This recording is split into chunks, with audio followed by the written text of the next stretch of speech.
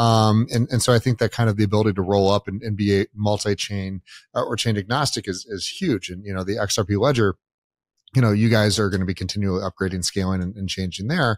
Um, but, but, you know, the ability to be, you know, cross compatible with, with other assets and tokens, I think is, is where we're going is this multi-chain future. Cause when you go to a website, you know, it's, it's generally pulling from multiple servers, you know, multiple data, databases to, to resolve a, a, single image or a single page. Um, and I think that that's going to be a lot of what we're going to see here in the near future is that, you know, there is no one chain to rule them all um, like Swift. You know, you were kind of like, yep, either either you're a bank and you use Swift, or you're just not in, uh, you're you're not included in the financial system. So I, I think you're entirely right. We're going to see a lot of you know evolutions. We've already proven, you know, a a tokenized JPEG, you know, that of the concept of digital scarcity can be worth tens of millions of dollars and hold the value and be able to trade as a financial instrument, um, whether that's legal or or even anyone cares.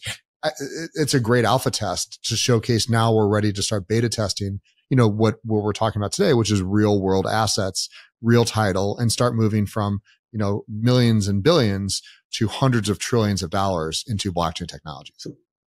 100%. Couldn't agree more. What do you,